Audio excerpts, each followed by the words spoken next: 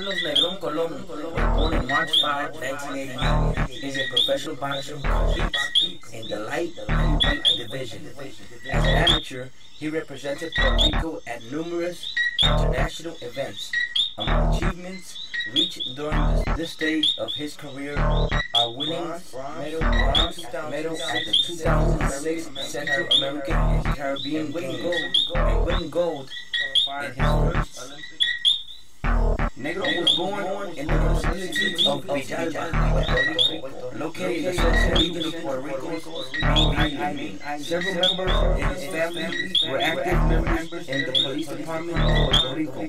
His father is Lieutenant Jose Adolfo Negron, while his two older brothers, Jose Alberto Negron and Jose Alfredo Negron, also selected this office Carlos Negron es un peso crucero pesando 185 libras. Tiene nueve peleas y nueve victorias con siete knockouts. Mide 6'6 y alcance de 83 pulgadas. His brother Jose Alberto used taught of him the discipline and served as his trainer.